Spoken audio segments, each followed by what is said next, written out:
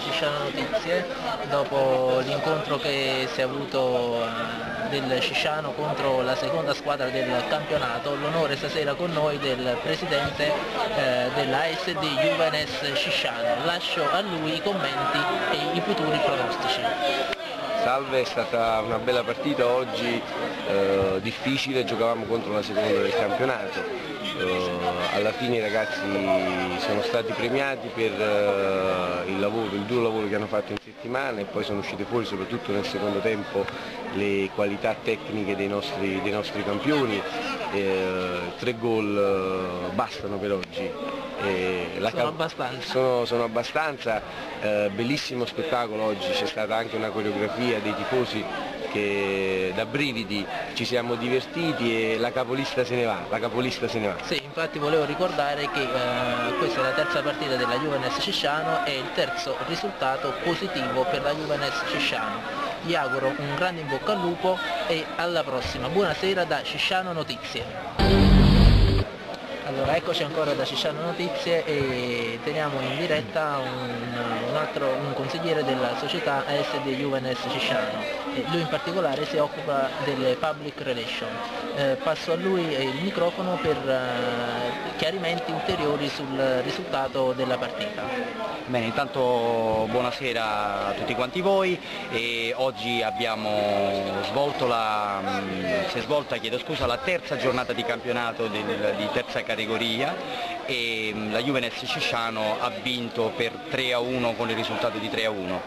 E è stata una partita molto tirata, molto agguerrita, i ragazzi nel primo tempo, come capita spesso anche nelle precedenti partite, il primo tempo sono scesi in campo un pochettino contratti e non sono riusciti a sviluppare il loro solito gioco, poi nel secondo tempo sicuramente la musica è cambiata e abbiamo visto delle trame di gioco anche abbastanza mm, fluide, belle, si è visto un po' di calcio giocato perché in pratica la nostra squadra essendo anche molto tecnica preferisce giocare palla a terra e quindi quando questo di solito non è possibile è chiaro che viene un pochino a mancare come contenuto di gioco e di conseguenza siamo riusciti poi a fare i tre gol che ci hanno dato la vittoria. Sì, sì, infatti è vero, è stata veramente una bella partita di, fatta di belle azioni.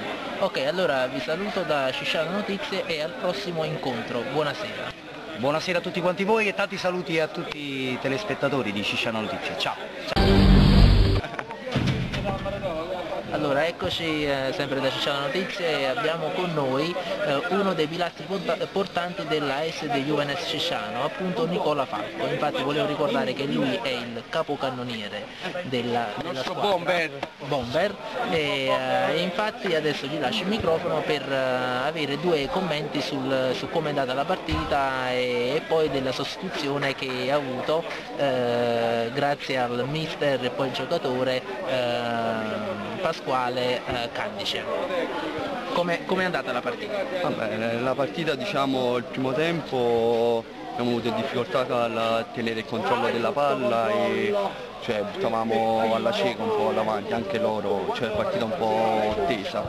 Poi il secondo tempo fortunatamente abbiamo trovato il primo gol che ci ha dato un po' di calma e poi cioè, giocando un po' più la palla abbiamo trovato la seconda e la terza rete. Però cioè, partita non è che abbiamo fatto chissà che, dobbiamo ancora crescere, e, c'è strada da fare ancora, cioè, è ancora presto per andare vittoria, cioè, siamo solo a 9 punti, tre partite, cioè, allora, tutto da fare ancora. Niente... Infatti volevo ricordare tre sì, partiti, tre eh, risultati. Sì, sì. Eh, solo per ricordare ai nostri telespettatori, eh, per adesso a quante rete stiamo?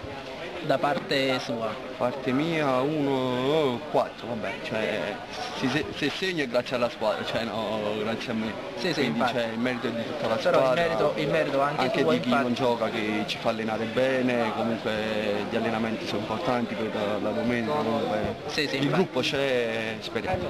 Un'altra cosa, è la sostituzione no. che è arrivato verso la fine del secondo tempo, no. verso l'ottantesimo. Veramente l'ho chiesta io perché sono un po' influenzato e quindi cioè, non ce la facevo più a correre, allora meglio per la squadra che meglio uscire che stare lì fermo in mezzo al campo. Bene, quindi... bene. Ok, giusto, giusta intervista, giusta risposta e da Cicciano Notizie vi salutiamo. Grazie a voi, buonasera.